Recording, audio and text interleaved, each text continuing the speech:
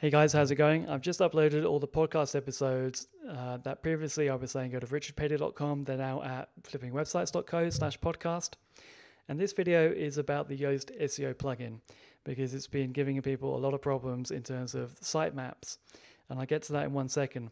Uh, but first of all, first thing I did was make sure that there was not going to be any duplicate content issues because the same content is currently at richardpatey.com slash the last episode with Ryan at Digital Acquisitions slash digital dash acquisitions, and the same thing on flipping websites. So, in order to fix that, the first thing you do is, or the only thing for this, is to go to the Yoast box and click on the cog, and there's a little canonical URL, and you put in the one that you want to be indexed. And going forward, uh, all new podcast episodes I want indexed to flippingwebsites.co.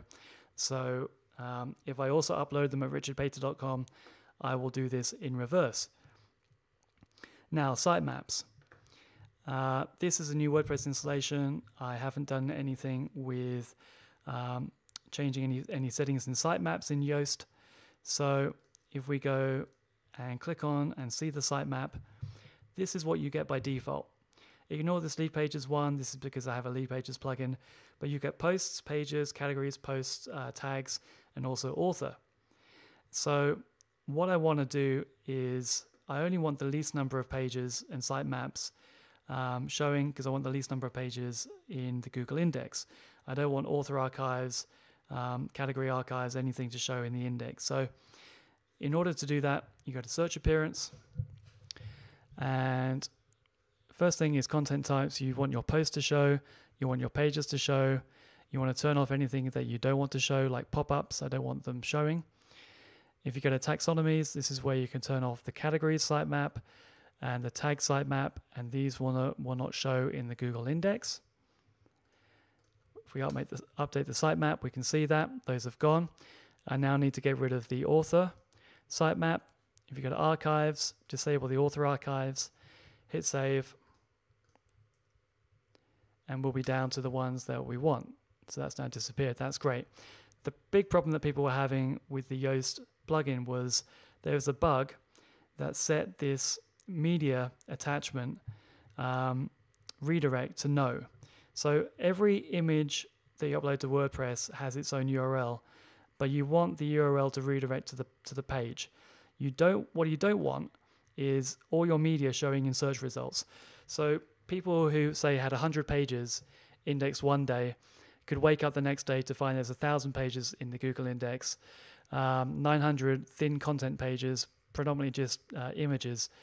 And as you can imagine, only having 10% of the pages in the Google index um, actually doing anything useful for users is going to have a negative effect on your sites. And I was negatively um, affected by that.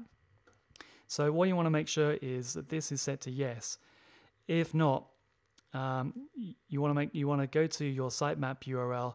If you're using Yoast, the uh, the URL structure is always the same. So just put your site in here, and look to see if there is an attachment sitemap. Um, if there is, for me that's a problem. Um, in theory, sometimes that's not uh, actually in search results if it appears, but I, I I've gone through all my sites and I've got rid of it now, and um, the annoying thing is, if I were to save this now, and this is saved, uh, has the bug um, actually set it up and affected people's sites. If I update this, it doesn't appear. However, on sites that it has appeared on, if I then go to yes and save, it, it actually does disappear. So it's still a bit of an issue. um, but as long as you don't have attachment sitemap uh, in your XML sitemap, um, then you're not going to run into this problem. But that was the big p- issue that people were having. All their images were being indexed.